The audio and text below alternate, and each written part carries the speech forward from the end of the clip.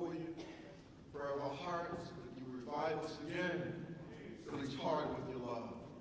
We pray that you bring the heavens even now. Come down and be with us. Hallelujah. May your spirit fill us. May still fill this place.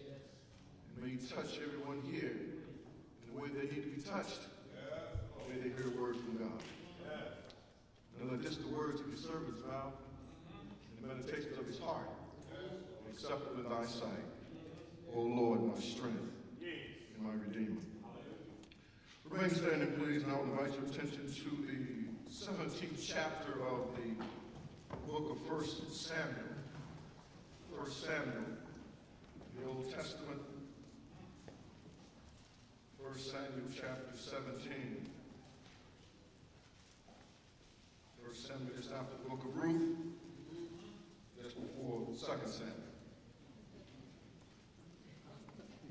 I'm sure that, that it.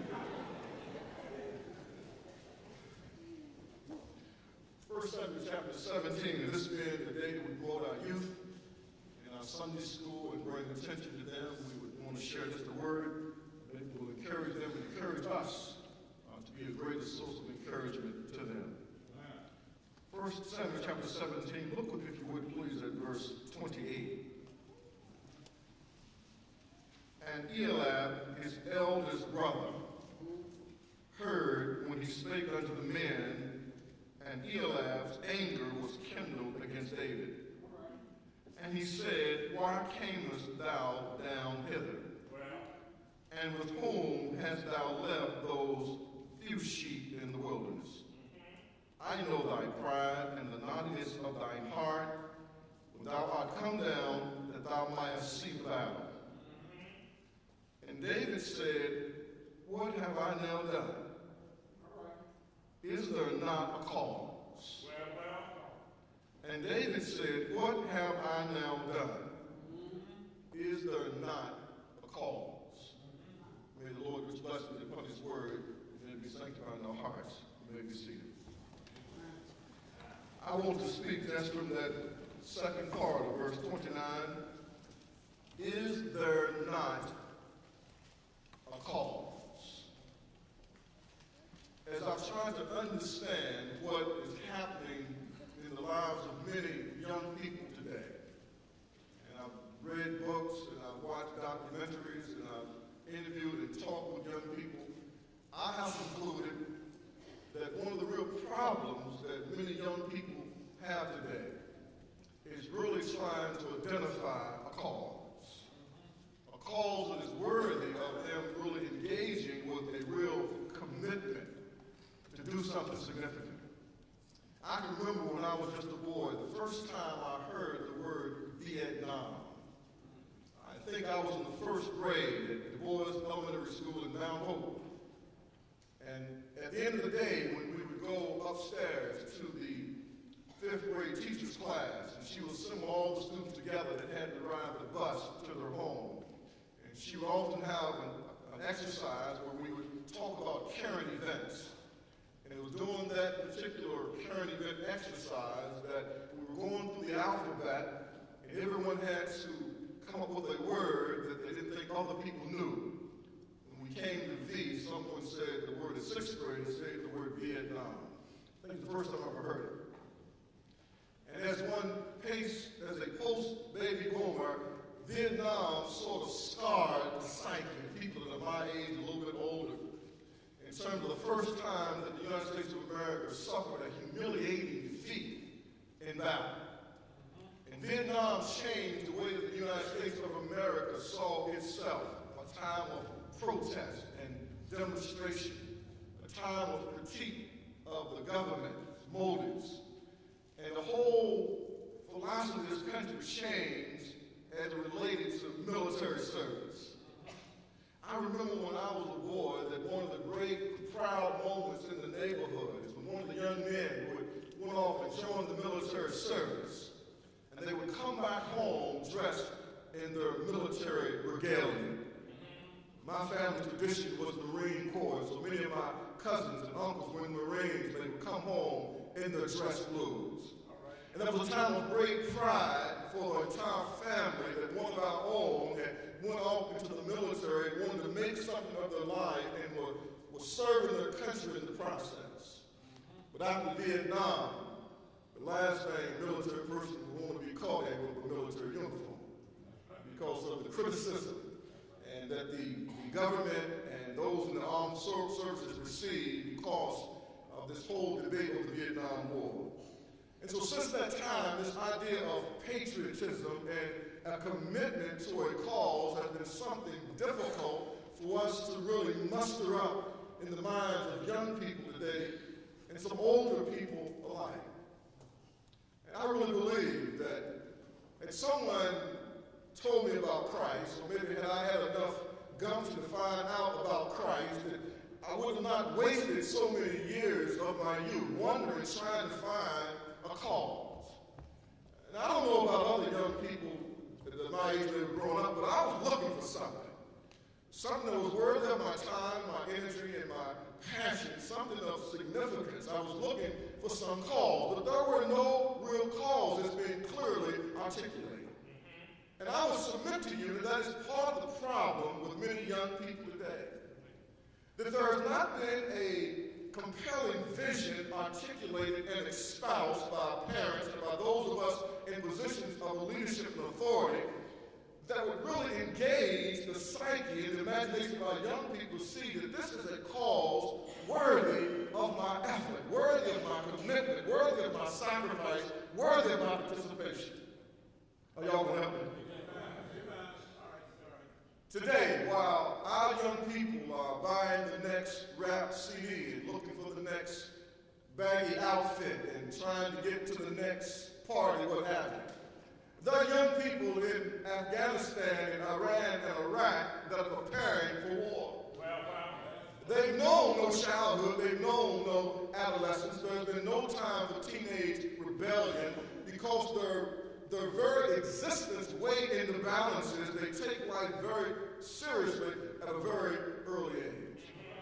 Now, I'm not trying to suggest that we rob our children of their childhood. I'm not trying to suggest that we overload them with responsibilities before they are mature enough to handle it. But I am suggesting that our children must wake up that there is a great cause out there.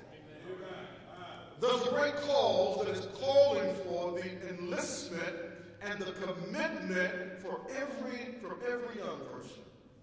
Now, I'm not saying you should take up a gun, AK 47, but I am suggesting you must take up the books of education.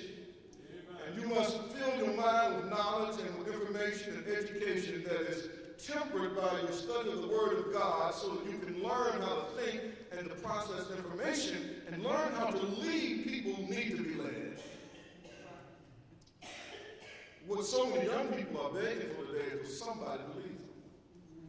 Someone to demonstrate that I'm willing to provide a vision and leadership, and what is needed most of all is peer leadership. We need leadership to emerge from young people. We need young people, and some of you in this church who know and love the Lord Jesus Christ, been baptized. I know you're baptized because I baptized you. And saw the fright on your face when I dumped you in that water. But we need for you to stand up and be counted for the Lord. Because you can and you will have greater influence and greater impact on your friends than this bald-headed preacher or your parents ever will have. They can relate to you. They know that you understand what they're dealing with. They know that you know the situation and the circumstances, the peer pressure that they're under, this desire to be a part of the group and not to be ostracized and be alienated and be made fun of and mocked. They, they know that you understand that. If you're able to show them that you love the Lord, that you're trying to serve Him, even as a young person, you might be amazed at how God might use you to provide leadership that your friends need.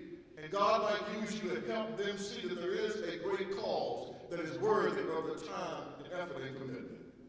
I want to lift just a few thoughts this morning from this story about a young man by the name of David. We know him as the psalmist. Uh-huh. David, the Bible describes him as a man after God's own heart. Before David became a man after God's own heart, David was a boy after God's own heart, and he was a young man after God's own heart, with a single passion to please, to please God. There's something that I find that is interesting and intriguing about David is that he was always underestimated. His daddy underestimated. Him. His brothers underestimated. Him. He was always underestimated. Because as the Bible says there in 1 Samuel 17, that man looks on the outward, the appearance, the countenance, but God looks at the heart. God looks at the heart, the inward parts. And so David was underestimated by his brothers, and he was underestimated by his own father. God had sent a prophet, a man by the name of Samuel, to anoint the next king. There had been a king in Israel, a man by the name of Saul, and Saul had disqualified himself because he disobeyed God, and now God had sent the prophet Samuel to anoint the next king. And so Samuel is directed to a man's house by the name of Jesse. And God told Samuel that the next king will come from the house of Jesse. So Samuel shows up at Jesse's house in 1 Samuel 16, and he asks Jesse, Where are your sons? And so Jesse parades his seven oldest boys Samuel. And Samuel looks at these strong and handsome, energetic, muscular young men. And when he looks at the first one, he assumes this must be the one. But God said, No, that's not the one. And he goes through all seven of Jesse's oldest sons, and each time the Lord said, No, no, that's not the one. And then Samuel said something to Jesse. He said, you have any other sons? Jesse had actually forgotten that he had a younger son by the name of David. And David had been delegated the responsibility of keeping the sheep, which is a tedious job, and no one wants that job, but that was the responsibility, that was his chore in the family hierarchy. And he says, Oh, yeah, I have, I have one. I have one young son, and his name is, is David. Look at verse 11 of 1 Samuel 16. And Samuel said unto Jesse, Are here all thy children? He said, The remaining yet the youngest, and the only keep the sheep. And Samuel said unto Jesse, Send and fetch him, for, he, for we will not sit down till he come hither. And he sent and brought him in, and he was ready, with all a beautiful countenance, godly to look to, and the Lord said, Arise, anoint him, for he, for this is he. Then Samuel took the horn of oil and anointed him in the midst of the brethren, and the Spirit of the Lord came down upon David from that day forward. So Samuel rose up and went to reign. Not only was David underestimated, but David was an unlikely choice. He was the youngest. He had a menial task of keeping sheep. And he was almost forgotten, but God chose him to be the next king. This is what I want you to see. Nowhere in the text at this point in time does Samuel tell David what he's been anointed for. What I'm suggesting to you is that there are times, young people, that God has chosen you and God has anointed you to do something significant and you're not even aware of it. That you're God's choice. That you've been chosen by God. You've been chosen by him. He didn't consult with anyone. He didn't ask anyone's opinion, anyone's evaluation or estimation. He did not ask for any input. God chose to choose you. And some of you have been chosen to do something significant. You've been chosen to do something special. You've been chosen to do something God has before prepared for you to do, and He's preparing for you to do, and now He's taking you through the life experiences to prepare you for that maybe a single task, or maybe multiple tasks, or maybe something over a period of time, but it's something that He's preparing for you to do. There are no accidents in the economy of God. Amen. He's chosen you. He's anointed you for something special. Some of you are running from. Some of you are running from what God shows you. You're running from the responsibility of being the one who stands up and says, Yes, I'm a Christian. I go to church. I go to Sunday school. And, I know the Lord Jesus Christ. And I think it's important that you know the Lord also. Some of you are running from. Some of you are running from the responsibility to be that one person that says, Well, I know what other people are doing, but I believe that the Bible teaches that as a young person, I should practice sexual abstinence. So I don't care what everyone else is doing, and I don't care if they call me goody two shoes and make fun of me. I'm going to believe what God says, and every other opinion be a lie. So some of you are chosen to do that. Some of you have chosen to stand up and say the use of drugs alcohol and tobacco is morally wrong. I don't care if it's legally right. It is still morally wrong. And I want to stand on the high ground. God has chosen some of you to take that position. Now, people expect for your parents to take that position. And they expect for me to take that position because I'm paid to take that position. But when a young person in high school, junior high, middle school, elementary school stands up and takes that position, people will take notice. They will listen. And so some of you have been chosen, you have been anointed to do something special for the Lord. I want you to see something about David. Not only was he an unlikely choice, not only was he underestimated, but I want you to see that David had prepared himself. You see, opportunity without preparation leads to frustration. And the reason a lot of frustrated young people today is because they're not prepared to take advantage of the opportunities that are right in front of them. The reason why the young men are frustrated today is because they're not prepared. And it may not be totally their fault. Maybe their parents have not given them the type of support that they need to get an education. Maybe the teachers have not been diligent in instructing them. And so we graduate young people who are educated to do absolutely nothing. And that's why some of us are trying to come together to create systems to prepare young people for this vast reservoir and ocean of opportunities out there. I mean, all types of things are out there. We talk about a technology age, an information age, a robotic age. There are many, many opportunities out there for people who are prepared. And so you must not squander away and waste away the years of your youth engaged in just silly stuff and don't prepare yourself for the future. This is a world that is providing opportunity for prepared people. Look at David. King Saul was having some serious problems. The Bible said an evil spirit had come upon him and he was suffering from chronic depression and he was looking for some type of way to have his depression relieved and removed. And so he speaks to some of his servants and they said, we know a fellow. We know a young man by the name of David. And He's a gifted and talented young man. Look at verse 17 of chapter 16. And Saul said unto his servant, Provide me now a man that can play well, and bring him to me. Then answered one of the servants and said, Behold, I've seen a son of Jesse the Bethlehemite that is cunning in plan and mighty in valor, a man of war, prudent in matters, and a comely person, and the Lord is with him. Now look at David's resume. Look at his qualifications here. His brothers view him as just some little mere insignificant sibling, a younger brother who's been assigned the tedious task of taking care of the sheep. But when other folks start looking at him, look at how they assess him. They say he is cunning in playing. He is a gifted, a skillful musician.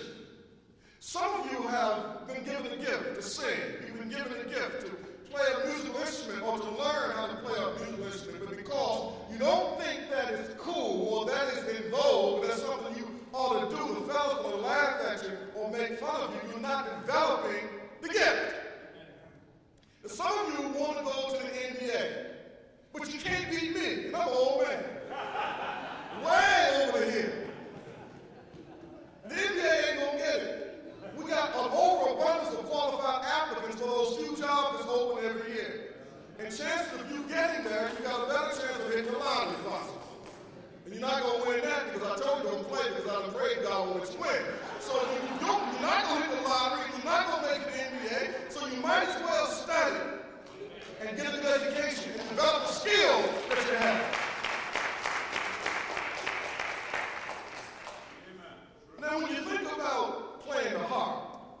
I mean, you see some effeminate individual, you know, stroking on this harp. That's what you think about in your mind. But they balance that by saying he's a mighty man of valor. He is a warrior. Lest anyone think that he is an effeminate sissy. He is a warrior. He is a man of God. He can defend himself and protect himself and take care of himself. He's prudent in matters. He has good judgment. Good judgment. You see, young people, reason it's so important for you to study the Word of God, memorize the Word of God, meditate on the Word of God, and be exposed to people who know and love the Word of God so that your judgment is refined. Are you following me? You need good judgment, the ability to discern right from wrong, good from bad, righteousness from unrighteousness. You need your senses to be developed, and the way your senses are developed and when you develop good judgment is through studying the Word of God and being around people who know and love the Word of God, who advise and counsel you so you benefit from their experiences. The Bible says David, as a young man, had good judgment. Had good judgment. Just this past week, we worked with several young men who exercised poor judgment. And some of their lives are going to be severely, severely affected because of their poor judgment. Life is serious business today. And if you don't exercise good judgment, just one bad decision, one bad decision can cost you your life.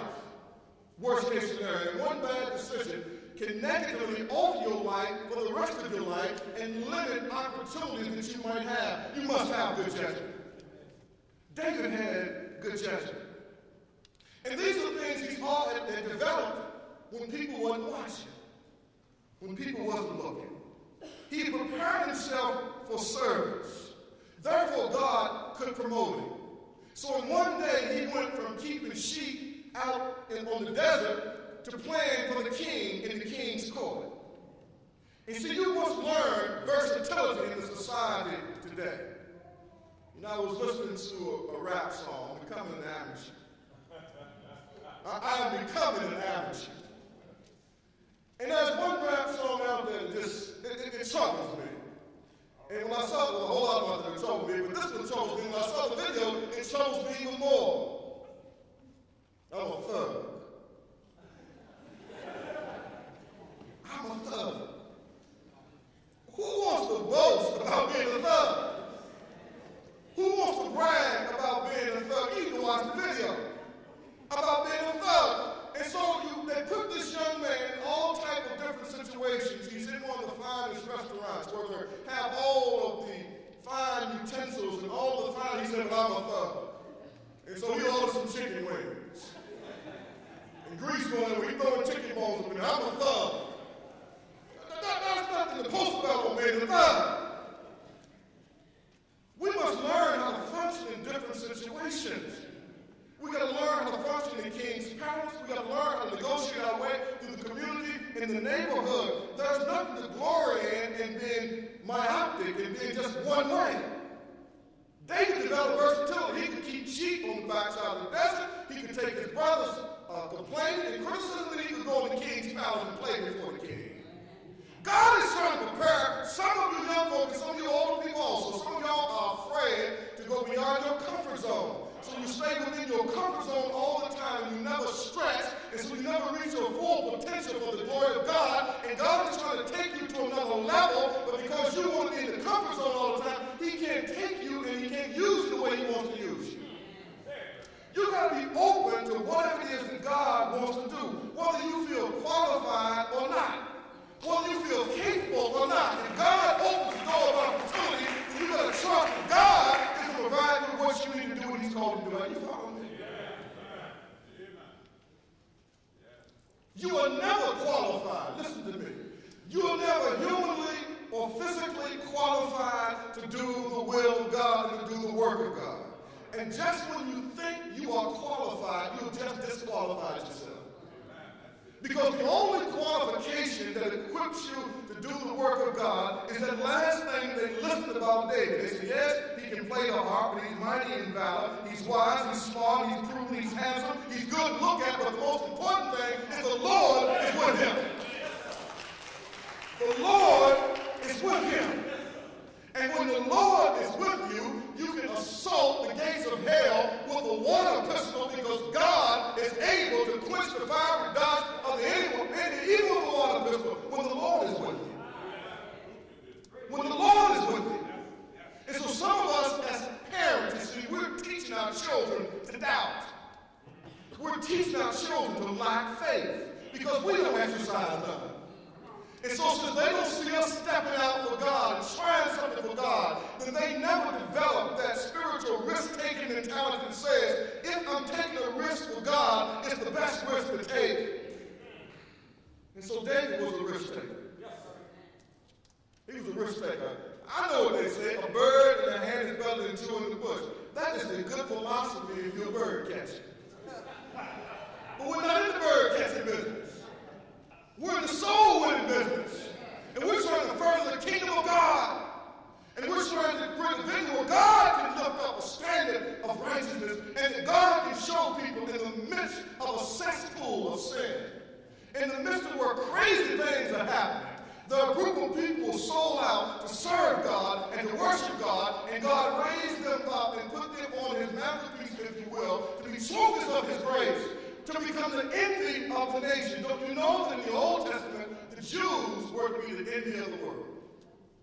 They were to be the envy of the world because God put them in a hostile territory, the land of Canaan. And God told them you'll be a monotheistic people. You'll worship one God, even though most of the people around you are worshiping many gods. And most of the people around you are immoral and are sinners. But you will live righteously before me. And as you live before me, I'm going to bless you. And if they're indulging in all their sin and all their perversion, I'm going to bless you, and they're going to know that you are the chosen people because I'm blessing you so you become the envy of the world. God wants the church, the people of God, in this dispensation to be the envy of the world.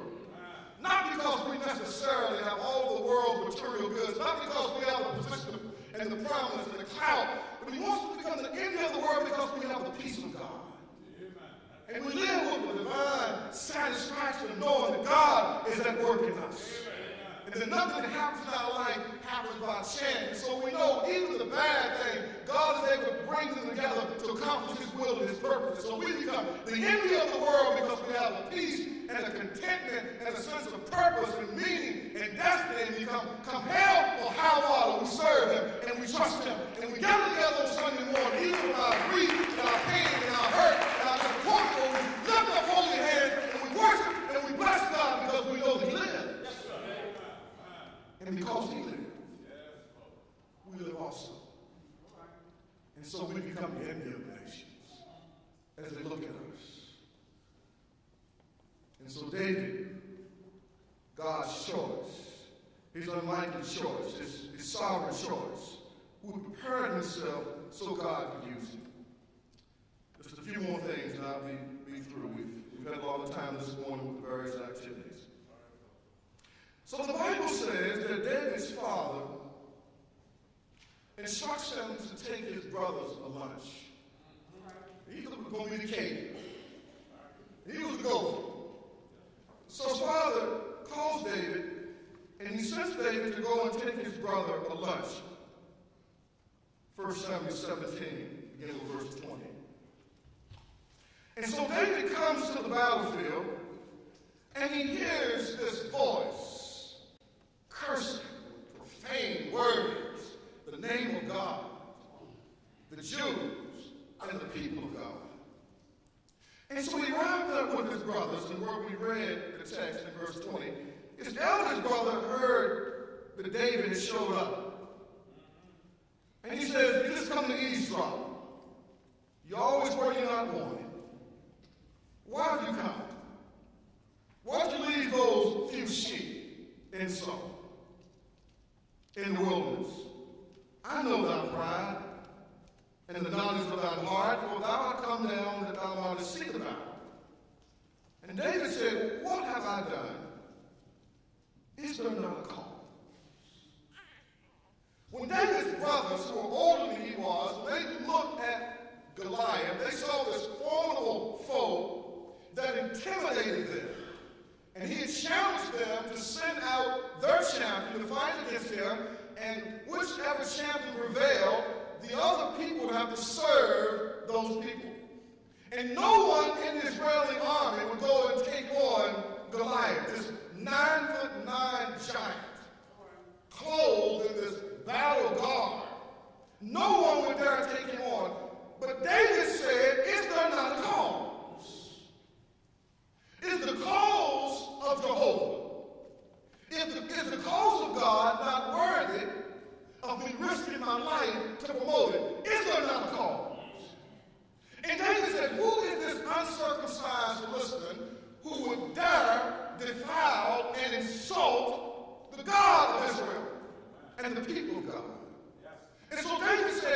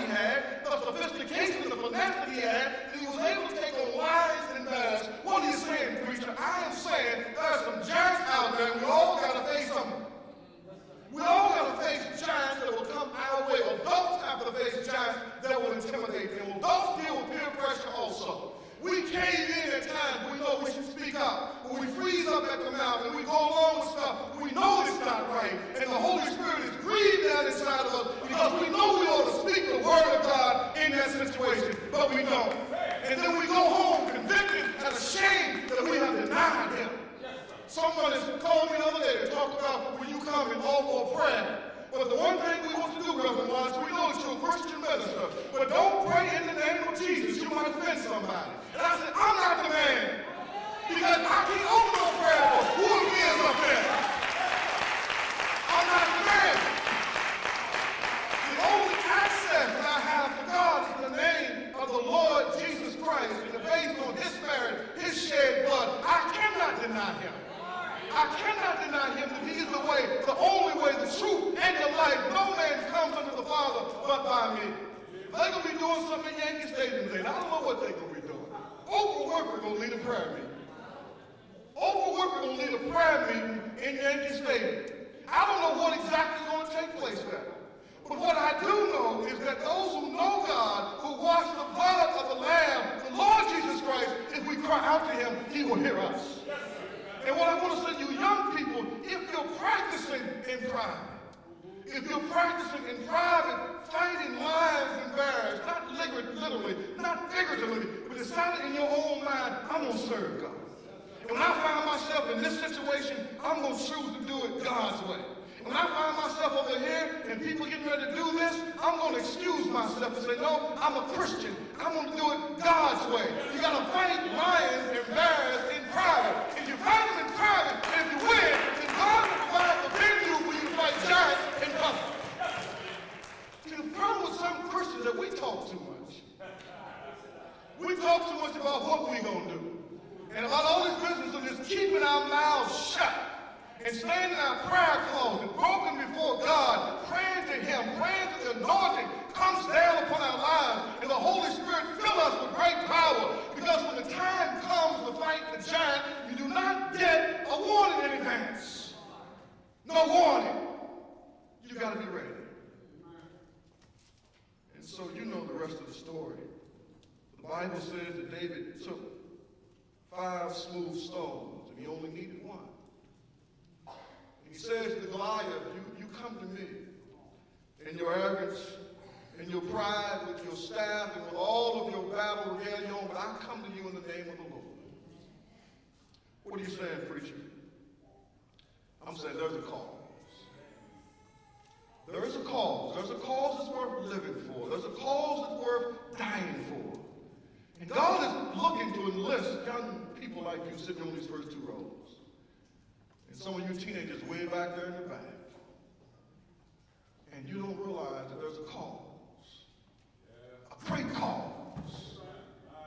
And if you need to enlist yourself in God's army and avail yourself to Him, He can use you in this program. He can use you in this program to influence your peers. Even some people may not like you. God can use you. There is a great cause. What I'm also suggesting to you is there may be a cause that call that this nation calls you to. We've been blessed in this country. Until recently, there's not been much blood spilled on these soils except the Civil War, except the slave war. But we're not guaranteed that it won't happen. We're not guaranteed that some of you, our sons and our daughters, will be summoned to the arena of conflict. To take up arms, to defend this country. I think it's worth defending.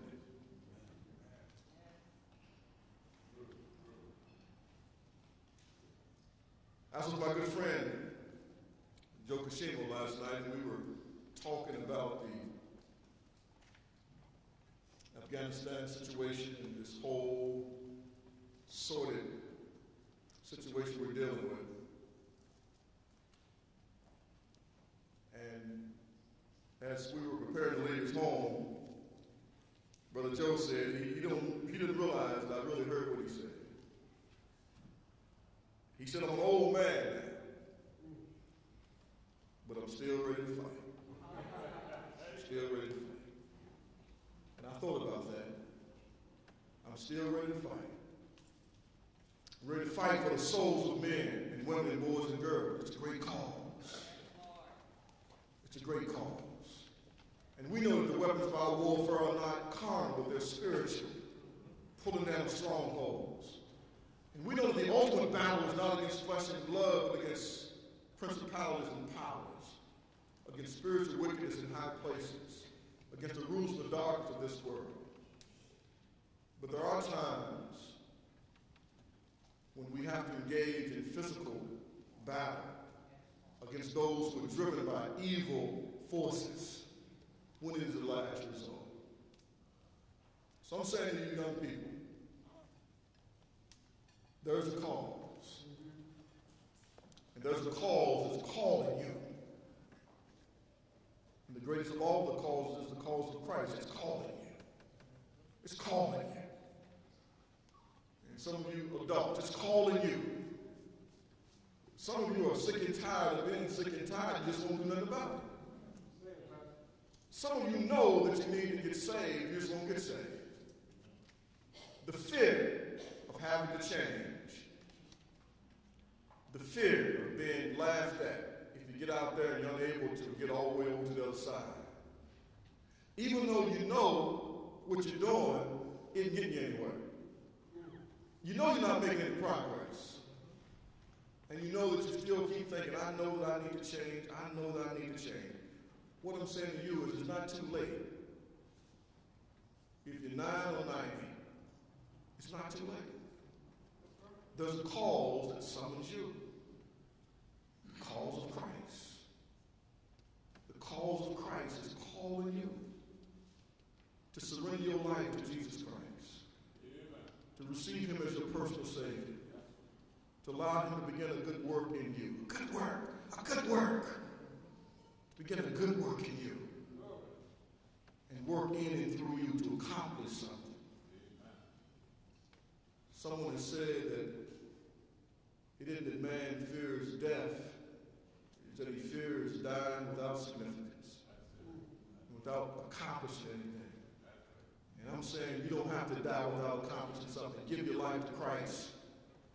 You spend all eternity with Him, and He will salvage something out of your life. That's the cause. And that's the call. Let's bow together, children. If you're here this morning, you've never come to faith in the risen Christ, right where you are, I would encourage you, if you sense that God is moving in your heart, you sense a need to change, you have a desire to change, but you've been unable to, just lift your hand to heaven. And in doing so, just reaching up to God and say, Lord, I know that I need you. I know that I need what only you can offer and what only you can do. And so I just surrender myself to you. I just want to be saved. I want to know my sins are forgiven. I want to know that I'm right with you. I want to enlist in your cause. Is there one? Now is the time, today is the day.